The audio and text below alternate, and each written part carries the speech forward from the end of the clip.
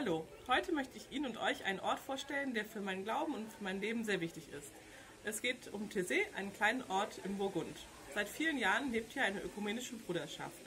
Sie nehmen jedes Jahr viele tausende Jugendliche auf und in geringerer Zahl auch Erwachsene und Familien mit Kindern. Ich bin jetzt das zwölfte Mal in diesem Jahr hier in Thésée. Durch die äußeren Umstände der Pandemie ist vieles anders. Es ist viel leerer als sonst. Vieles Zentrale bleibt aber auch gleich. Deswegen wird es gleich Bilder aus diesem, aber auch aus den letzten Jahren zu sehen, gehen, sehen geben, um einen guten Gesamteindruck zu bekommen. Die jungen Menschen, die nach Thésée kommen, schließen sich dem Leben der Gemeinschaft der Brüder an.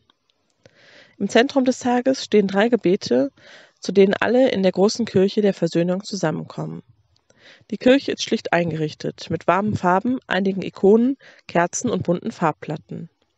Alle sitzen auf dem Boden oder auf kleinen Holzhockern und schauen gemeinsam nach vorne. In den gemeinsamen Gebeten gibt es Schriftlesungen, Psalmen und eine lange Zeit der Stille. Über Thésée hinaus bekannt geworden sind die meditativen Gesänge mit kurzen Texten in vielen Sprachen, die immer wieder wiederholt werden.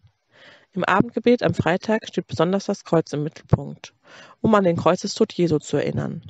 Am Samstagabend wird mit einer Lichterfeier die Auferstehung gefeiert.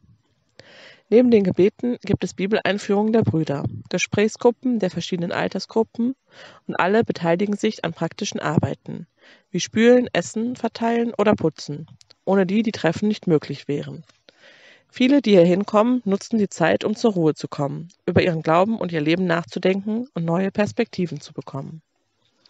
Durch die Gemeinschaft mit den Brüdern und besonders auch durch den Austausch mit jungen Menschen aus vielen anderen Ländern gewinnt das Bild der Kirche eine neue Facette hinzu. Die Brüder geben durch ihre Herkunft aus verschiedenen Konfessionen, Ländern und Kontinenten ein Zeichen dafür, dass Versöhnung und friedliches Zusammenleben möglich sind. Durch ihre Gastfreundschaft ermuntern sie auch andere dazu, Versöhnung zu wagen.